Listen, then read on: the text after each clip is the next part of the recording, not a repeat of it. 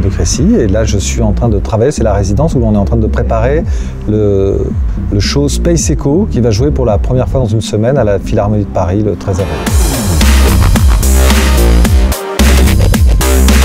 Déjà, moi, je travaille. euh, euh, je, je suis pas un, gros showman et avoir l'attention des, gens sur moi, c'est pas un truc que je recherche et que j'apprécie beaucoup. Euh, donc, tous mes, à chaque fois que j'ai fait des- des shows, en fait, je cherche absolument à détourner l'attention des gens, à leur montrer quelque chose qui serait plus intéressant que moi. Euh, c'est de la musique électronique. euh, J'adore ça, je le revendique. Mais par contre, c'est vrai que le spectacle de tourner les boutons, c'est un truc que j'ai jamais trouvé super. euh, excitant en tant que spectateur et même les producteurs aujourd'hui qui montrent leur tablette sur laquelle ils appuient, ça ne m'a jamais passionné. En fait, ce spectacle-là, je ne le trouve pas très intéressant. Donc j'ai toujours essayé d'amener quelque chose de plus et quelque chose qui fait que les gens trouvent ça super ou chouette et tout, mais c'est pas c'est pas moi qui trouve chouette, c'est le spectacle. Donc pour moi, c'est vrai que c'est très important. Et comme j'essaie de détourner l'attention des gens, en revanche, ce que je propose sur scène, c'est vrai que ça doit me représenter et je dois en être fier. Et ça me représente, les gens se souviendront de ça quand ils se souviendront de mon concert. Donc je mets beaucoup, beaucoup de soins et d'attention euh, au spectacle qui va être proposé.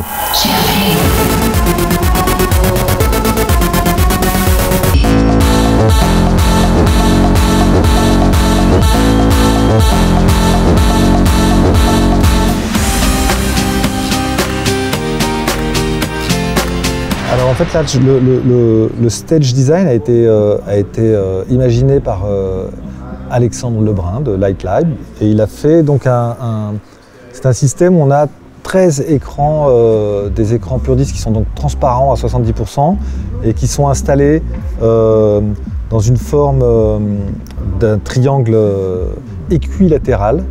Ils sont sur des moteurs rotatifs et donc les écrans peuvent tourner et se reconfigurer comme c'est équilatéral. euh, ils sont disposés de telle manière qu'ils peuvent se reconfigurer en grands écrans sur les côtés, sur le fond ou sur l'autre côté. C'est-à-dire qu'à chaque fois que les, rotations ils permettent de se reconfigurer, de se re-rencontrer, de recréer des formes euh, selon l'angle de rotation qu'ils ont euh, chacun.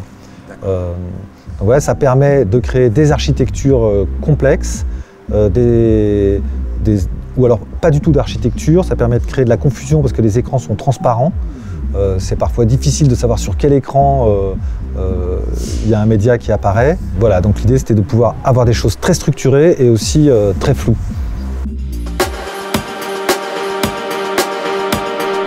Effectivement, au moment où il a fallu envisager de gérer les, déjà gérer, je pensais même pas générer en temps réel, c'était un truc auquel j'étais pas, j'étais pas habitué, j'ai jamais travaillé comme ça, mais déjà juste de gérer les vidéos dans ces écrans qui, étaient en transparence, donc qui existaient euh, dans l'espace, euh, c'était quelque chose avec les outils euh, traditionnels, on va dire.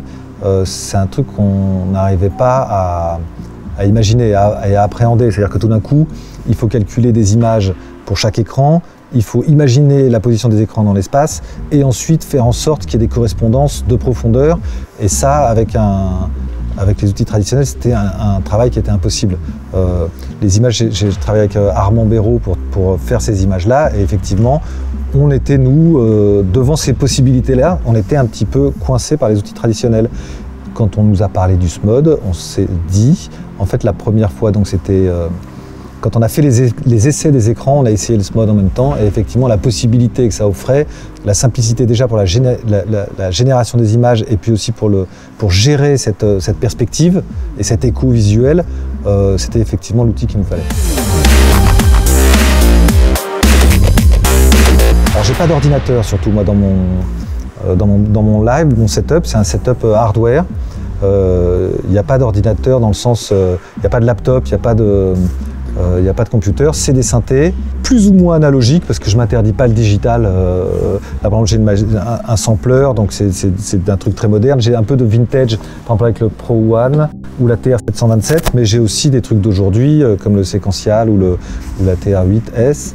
Euh, voilà, et par contre, j'ai un séquenceur hardware qui est, euh, j'enlève le scotch parce que ça, ça sert à travailler, mais c'est pas très joli, euh, qui est le Séquentix de Circlon, euh, qui est un, séquenceur super, qui est hardware, donc euh, on, peut séquenceur multi, euh, multipiste, euh, multitimbral, avec beaucoup de possibilités, très nerd. mais qui est, qui est super et qui me permet effectivement d'envoyer beaucoup d'informations, beaucoup de control change, beaucoup de MIDI déjà à mes machines et ensuite euh, euh, au SMOD en fait qui me permet de gérer et de générer des images euh, sur les écrans. Moi donc dans mon séquenceur, la, manière dont je travaille, c'est j'ai, je suis assez libre dans la musique, j'ai une timeline en fait, j'ai des séquences qui tournent en boucle. Euh, chaque séquence donc correspond à une partie du, morceau.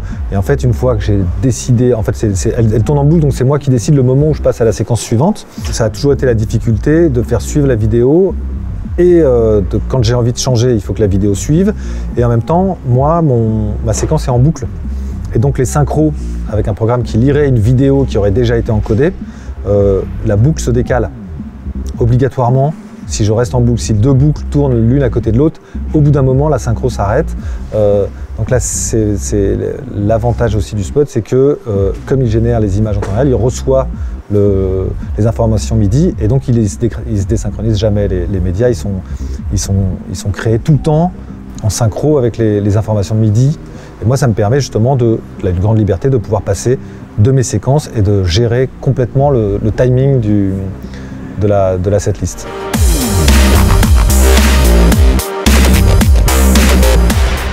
A effectivement modélisé tous les écrans et leur position dans le SMOD, et ce qui nous permet en fait de faire des médias qui vont changer en fonction de la position des écrans, parce qu'en plus les écrans bougeaient, et donc effectivement il y avait ça où le SMOD pouvait rattraper euh, dans les médias créés la position des écrans, ce qui fait qu'on pouvait avoir une forme qui restait la même alors que l'écran bougeait, donc en fait la forme vraiment euh, qui existait sur l'écran se déformait, et en fait juste à l'œil elle restait, euh, elle restait immobile ou la même, parce que le mode réussissait à rattraper ces mouvements. Enfin, il y avait tous ces, trucs-là qui étaient très complexes, qui, seraient très complexes à faire dans un, avec un outil traditionnel, là devenait assez facile à, réaliser. Et ensuite, il y avait aussi ce truc de temps réel, c'est-à-dire que euh, le fait de générer des images en temps réel, ça c'est un truc auquel j'étais pas du tout habitué. C'est vrai que ça, donne une grande souplesse justement pour euh, arranger les matériaux, les médias et pour pouvoir euh, réarranger et faire évoluer le, show au fur et à mesure et même pour la création, il y a quelque chose de très léger. Euh.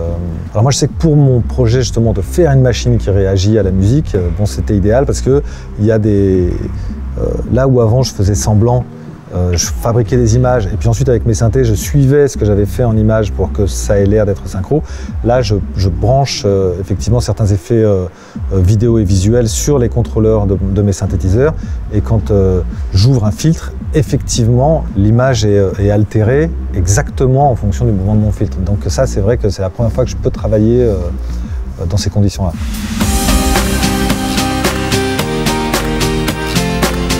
Un truc quand même que, que le spot gère très bien, c'est le feedback. J'ai beaucoup utilisé ça.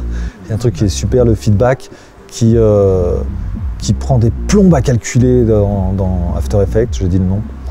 Ça prend, trois, trois, ça, prend une nuit entière pour voir l'effet, pour se rendre compte qu'en fait c'était pas bien et qu'il faut recommencer. Et c'est vrai que là il est en temps réel, donc ce truc-là il est. Euh, et je m'en suis beaucoup servi, c'est un effet que j'aimais bien et euh, je m'en suis beaucoup servi.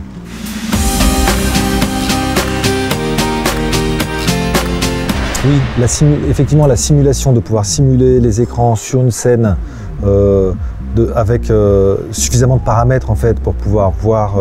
Euh, donc en 3D, là, les écrans, c'était très particulier en plus à simuler parce que donc ils sont transparents d'un côté, en partie transparents. De l'autre côté, ils sont complètement transparents, on voit pas l'image. Par contre, l'écran projette une lumière, donc il y avait tout un, à, simuler. C'était quand même quelque chose d'assez difficile et ça a été très confortable de pouvoir travailler avec, euh, avec cette simulation, euh, euh, cette simulation 3D qui et ça va assez vite et ça va même, c'est, c'est vraiment temps réel. Et donc c'est vrai qu'on a pu voir avant d'être, ici, on a pu vraiment se figurer le, le setup on n'a pas eu des surprises euh, incroyables. C'est-à-dire qu'on n'a pas, pratiquement pas de déchets, de trucs qu'on aurait fait et qui ne marchent pas une fois qu'on le voit en vrai, ce qui est assez rare.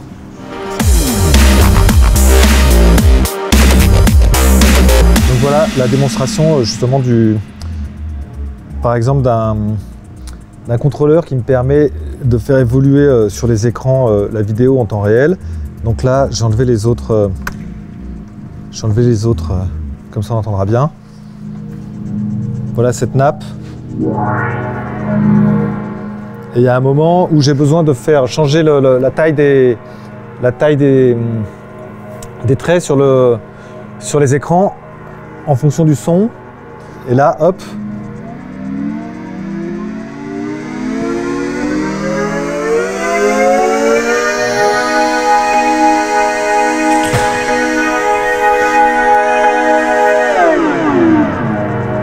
magique.